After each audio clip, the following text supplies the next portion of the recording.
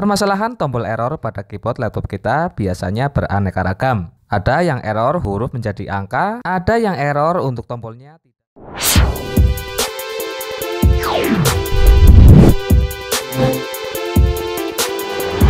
Assalamualaikum warahmatullahi wabarakatuh. Pada kesempatan kali ini saya akan berbagi tutorial cara mengatasi keyboard error pada laptop kita.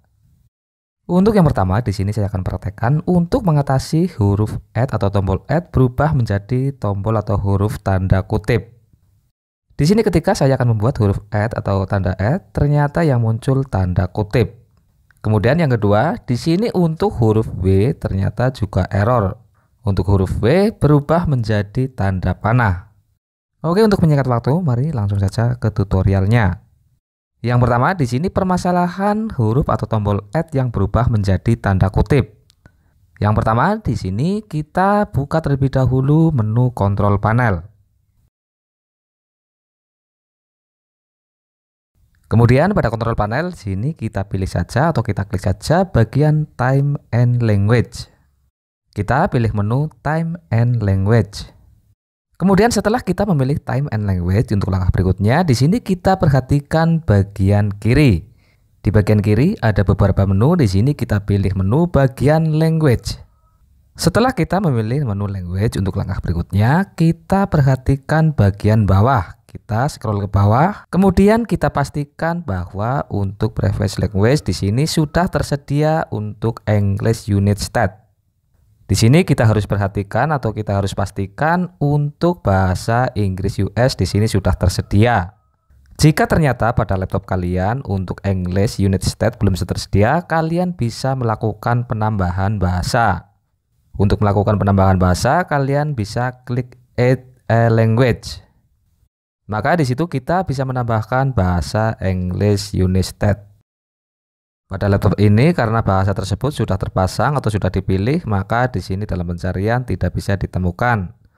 Namun jika pada laptop kalian untuk bahasa tersebut belum dipilih atau belum dipasang, maka kalian langsung pasang saja melalui menu ini.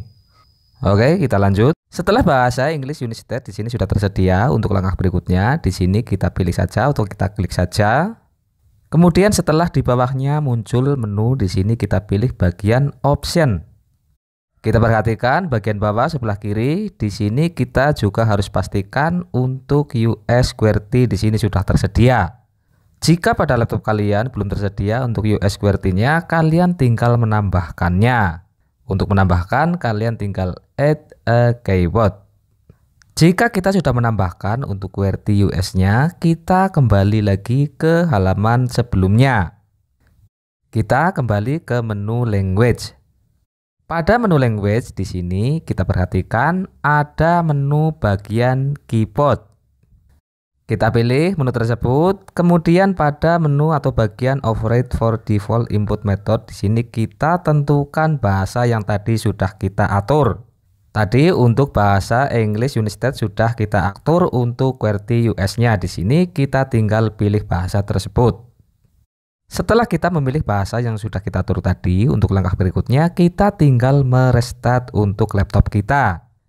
Kita restart untuk laptop kita, maka untuk tombol yang error tadi untuk huruf add akan normal kembali.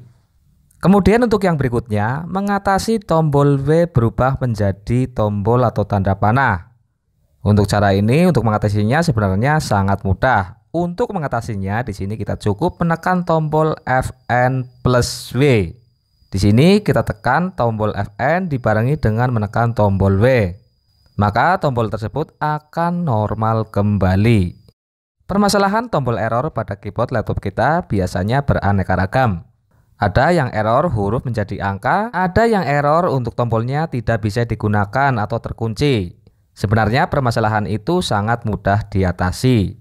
Kita tidak perlu ke tukang servis tinggal melakukan langkah-langkah untuk perbaikan.